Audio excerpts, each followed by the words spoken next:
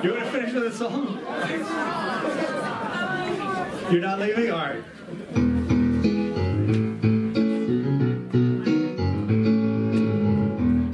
Some people call me the space cowboy.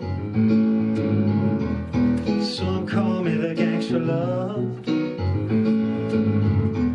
Some people call me Maurice.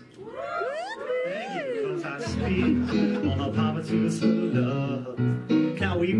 this song is by Steve Miller Band called The Joker. It was written in 64, 68 maybe.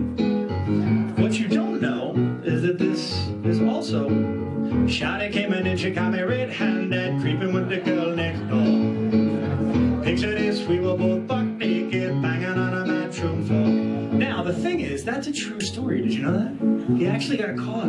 He got caught messing around on his woman. Now, like all good musicians, he wrote her a song to apologize. But that lazy just used the same song and changed the words. It went like this.